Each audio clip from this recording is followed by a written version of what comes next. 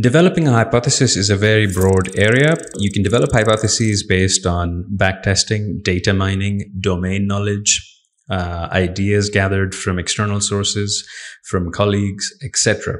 There are several different ways to develop a hypothesis, or you could obviously develop a hypothesis based on observation of markets. For today's tutorial, what we're going to do is assume uh, knowledge of a momentum factor and go ahead and try and implement this momentum factor. And along the way, I'll describe how we're going about doing so. The momentum factor will essentially consider returns from previous periods as possibly predictive of future returns on the same Darwin portfolio. We'll also be crafting Darwin, constructing Darwin portfolios of different sizes uh, and going about constructing logic for how to go ahead and do that. What this tutorial will not be covering is performance fees. These are very, very important to consider in calculating your final returns. Uh, we do not have the time for this video to cover them in detail as it is a fairly lengthy implementation and needs to be discussed in isolation. So We'll cover that in a future tu tutorial dedicated to performance fees and transaction costs. Uh, this tutorial also does not consider volatility of returns and doesn't cater to data using the volatility of the returns time series that's being used. It also doesn't cover divergence as a cost at this point in time. It has a fixed transaction cost that we'll be implementing shortly. No customization of portfolio weights, therefore no portfolio optimization is convert, uh, conducted in this tutorial.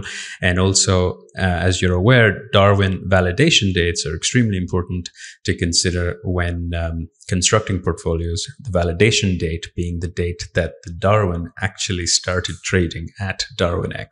Any past data came from the Darwin provider's previous brokerage. Now, that is not to say that the previous brokerage is not reliable. It's just to say that data after validation is most certainly reliable as it has been generated and executed in the Darwinex environment.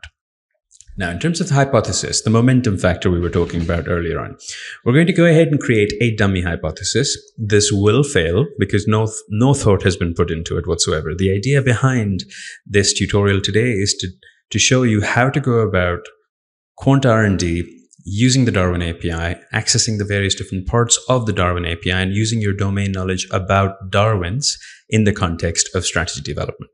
So this hypothesis will basically assume that a Darwin's end of day return or end of week return or end of month return, the three periods that we'll be testing in this um, uh, trading strategy today, uh, the Darwin's end of period return is possibly predictive of the direction of its next period return.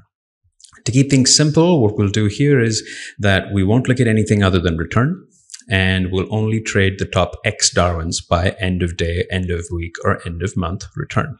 Uh, this text needs updating here. It will be uh, prior to being uploaded to GitHub, but essentially we will be looking at periodic returns, not just end of day returns. As always, if you enjoyed this presentation, please do consider sharing it with your social networks, colleagues, co-workers, and friends. And do subscribe to the Darwinex YouTube channel so you remain up to date with all future videos that will be released in this series and other topics discussed on Darwinex. Thank you very much for your attention. See you next time.